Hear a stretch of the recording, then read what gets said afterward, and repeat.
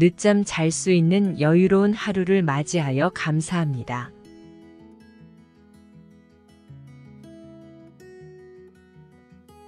마음 편히 푹 자고 기분 좋게 아침을 맞이할 수 있어 감사합니다.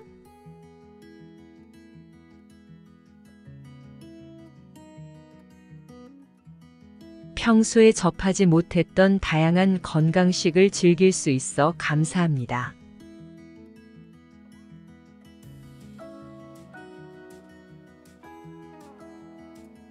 마음과 몸 모두 릴렉스할 수 있는 시간을 보내어 감사합니다.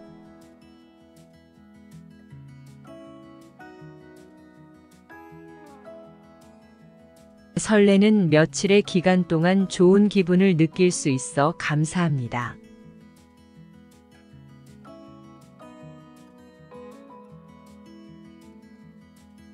오랜만에 긴 시간 동안 독서를 할 수 있는 시간을 누려 감사합니다.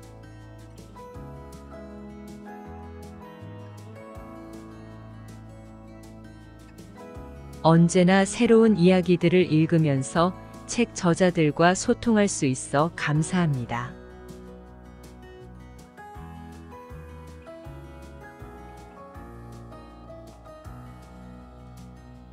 즐거운 대화를 하며 한동안 몰랐던 것들을 알게 되어 감사합니다.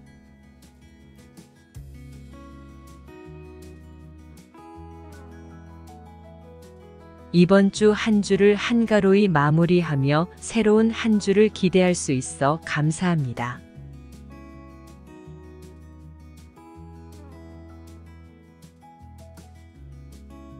항상 곁에 있는 소중한 이들에게 고맙고 감사합니다.